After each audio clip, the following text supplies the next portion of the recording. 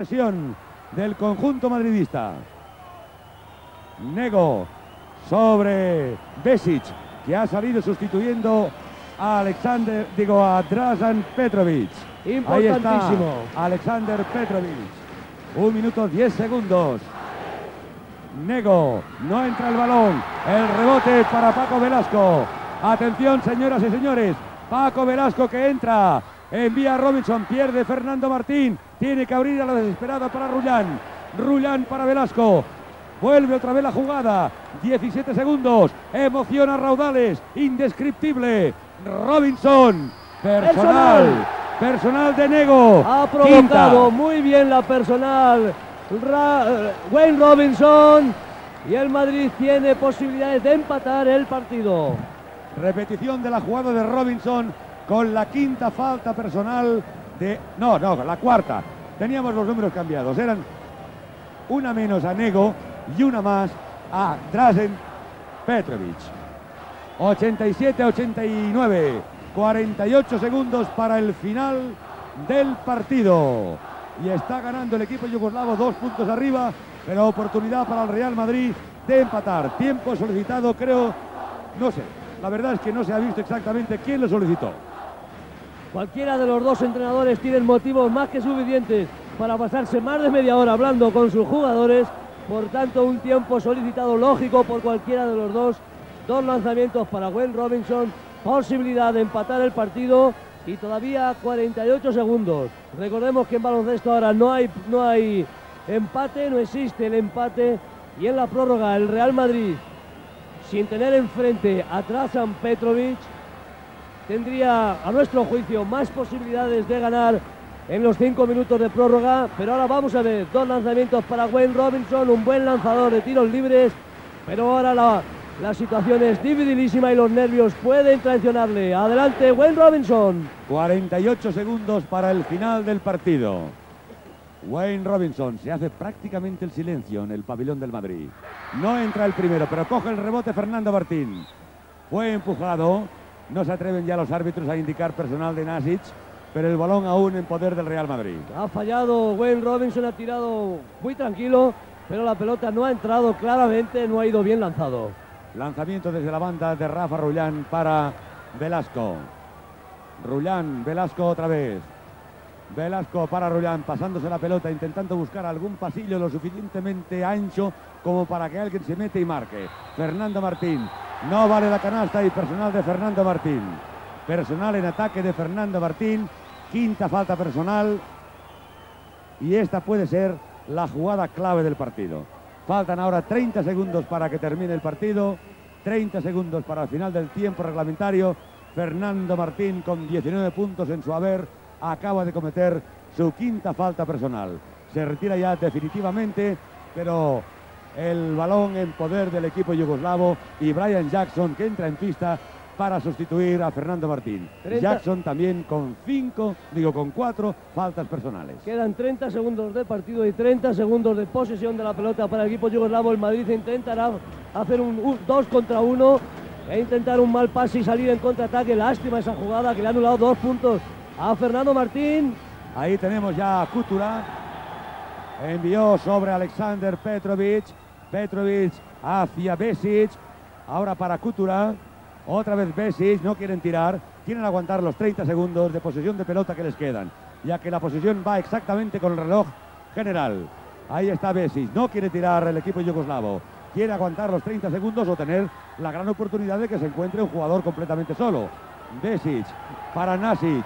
Cuatro segundos restan. No Ahí está. Alexander Petrovic botando la pelota Han de ganado. alegría y termina el partido.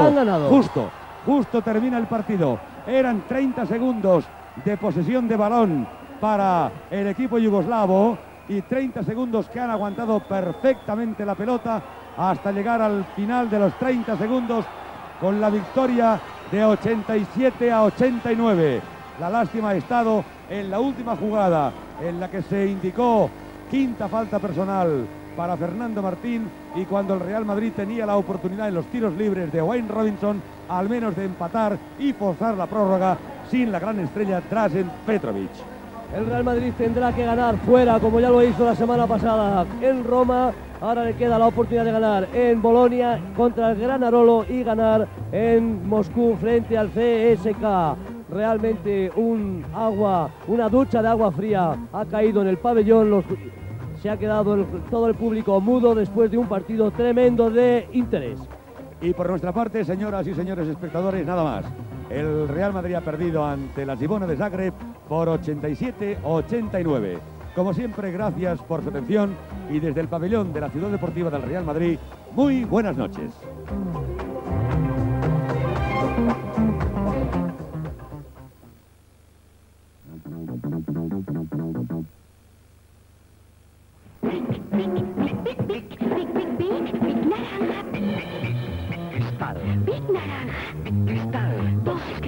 A elegir. Big Naranja escribe fino. Big Cristal escribe normal. Big Naranja. Big Cristal. Dos escrituras a elegir. Big, big, big, big,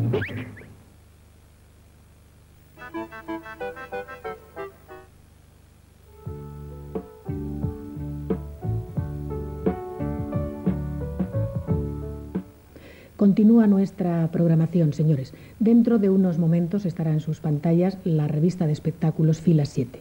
A partir de las 11 menos 20, el espacio Cineclub, continuando con el ciclo dedicado al director Roberto Rossellini, les ofrecerá el largometraje Alemania Año Cero, realizado en 1947. Hará la presentación del filme el realizador Carlo Lisani. Finalizaremos la emisión con un resumen informativo. Les dejamos ya con Fila 7.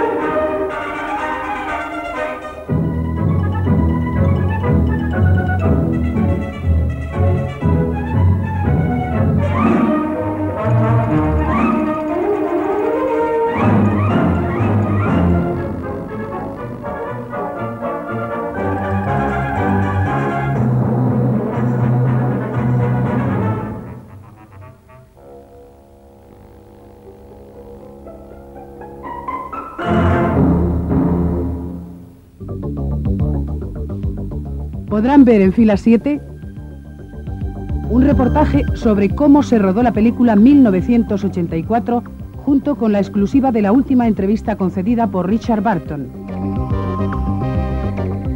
Un western de 1954, El Jardín del Diablo, se convierte por méritos propios en estrella de una cartelera anodina. Pepe Barra, un grupo en la tradición de la varietà napolitana que renueva por Europa las viejas glorias de este tipo de espectáculo. El tercer capítulo de nuestro informe sobre cine mexicano que estará dedicado a los exiliados españoles.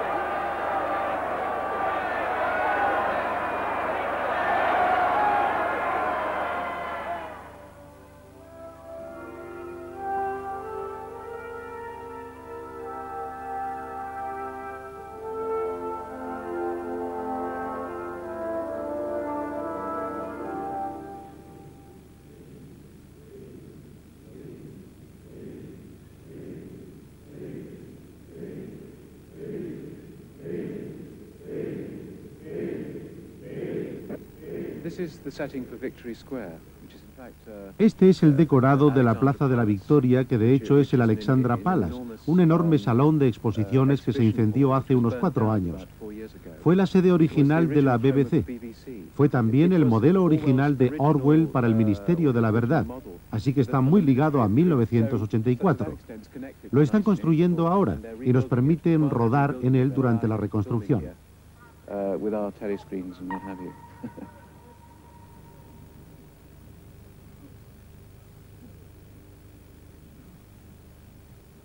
They have attacked an unarmed village with rocket bombs and murdered 4,000 defenseless, innocent and peaceful citizens of Oceania.